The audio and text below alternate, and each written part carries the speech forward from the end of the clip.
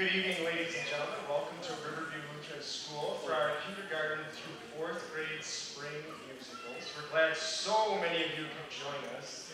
If you have an empty seat near you, there are a few people still standing. There are a couple seats. Could you raise your hand if there are some empty seats near you so they can find their way? If you'd like a seat, there's a, there's a, there's a handful left.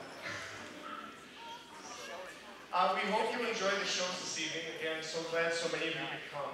I have to start out with a shameless self-promotion because I was asked to by our Christian Parent Teacher Organization. Teacher Appreciation Week is next week. And there is a sign-up sheet for volunteers and a hallway. Uh, so if you could find some time for that next week, they would greatly appreciate it. Our first play this evening is by our kindergarten through second grade.